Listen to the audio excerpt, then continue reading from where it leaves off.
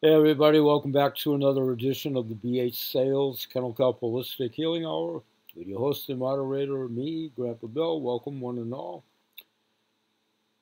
Some of you via invitation were applicable, my two church mice, Peter and Paul, each and every day. We now are six years running each and every day doing two audio shows YouTube offering. YouTube offering is Bill Holt at Bill Holt 8792. Please do like us, share us, give us the thumbs up, and where you're comfortable in doing so, please subscribe. We also do two audio versions. One entitled Workouts for Geriatrics, aka Silver Streakers. Good for all kids from 1 to 92. It's about health and wellness. Another audio show offering is Maine, M-A-I-N-E, cross promotion in Maine, M-A-I-N-E, mentor moments in business and in life. There we talk about, mostly in life, lots of subjects about business, investments, so on and so forth. There, today, here, always do these YouTube somewhere between 10 and 20 minutes or try to. And it's the index as to what will be coming up at the audio shows as they create them. So what I'm going to expand upon at my shows, I want to start to talk about combining two schools of thought embraced around two different guests with two dis different subsets of expertise where it all intertwines, hopefully, into mindfulness and meditation and integral components within.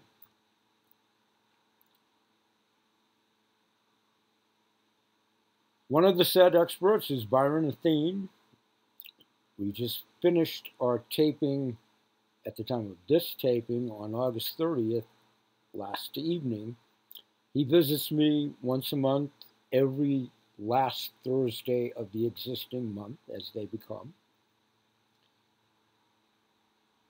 We had a pretty provocative show last evening talking about acceptance. And as we always do, sometimes we mention it on air at the close of the show. Hey, what do you think we should talk about the next time around? And or we obviously always do that in between the sessions of the shows. Well, Byron came up with a wonderful thought of next time talking about self compassion. And I concur. so I have a month to prepare for that. I'm teasing a little bit. But self compassion is a subject that we've talked about before at all my shows over the years compassion. We'll get into a little bit of both at my radio shows. But I also want to talk about Tim Doyle, who's a repeat guest also in the Golden Ones, Path to Oneness.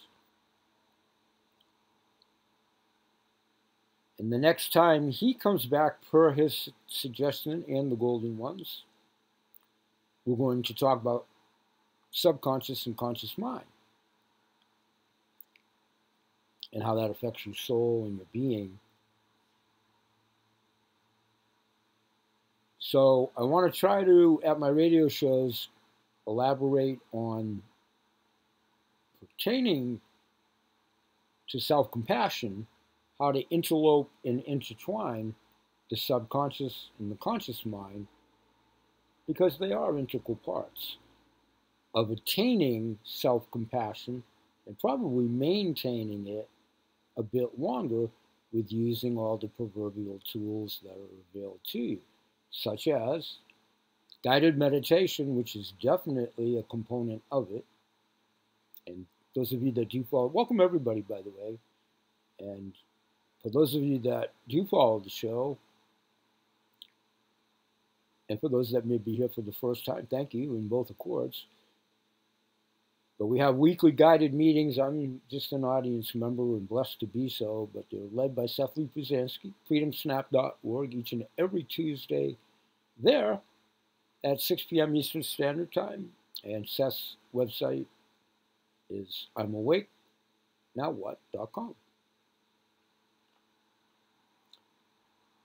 A large intuitive group there, all the peripheral works there, and there's many other alternative and intuitive groups, alternative medicine and holistic medicine groups that I'm blessed to be a part of. And all of these components are about that approach to tying into the body, having the innate trait to heal itself. Holistically, alternatively, and integratively under the guise of medicine and self practice, mindfulness.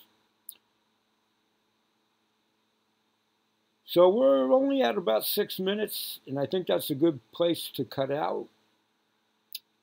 By the time any of you probably hear this, so I'll phrase it two ways. It is August 30th. If anybody does happen to hear it within the confines of, I hope you all have a very safe, uh, happy, be nice to each other Labor Day weekend. And if it is past tense that you're seeing this, possibly two years from now. We all hope that's a reality. we'll talk about that in a couple of my other shows.